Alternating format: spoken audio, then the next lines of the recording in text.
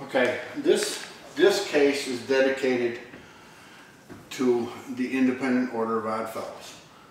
This was, this would have hung in their, um, membership or meeting hall. Um, This is a certificate that they're a member of the Independent Order of Odd Fellows. This is a picture of, uh, when I was talking about the music, musical portion, this is a picture of the cornet band from Greenwich.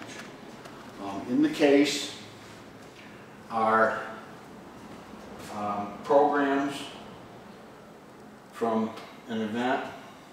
There are white gloves that they were worn at ceremonies. There are particular membership ribbons that they wore at uh, conventions or get-togethers of the company. There's also a picture of the Odd Fellows Band.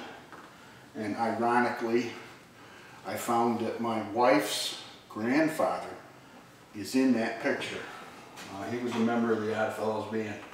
And there's various pins and ribbons and, and books and forms of records from the Odd Fellows in there.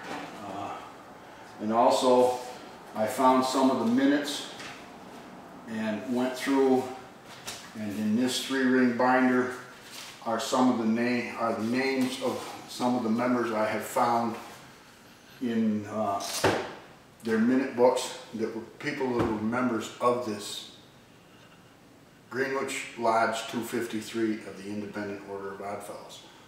Um, if somebody comes in and they want to look through this, they're very welcome uh, to look through. Maybe some of their re- relatives or ancestors were members that they didn't know about.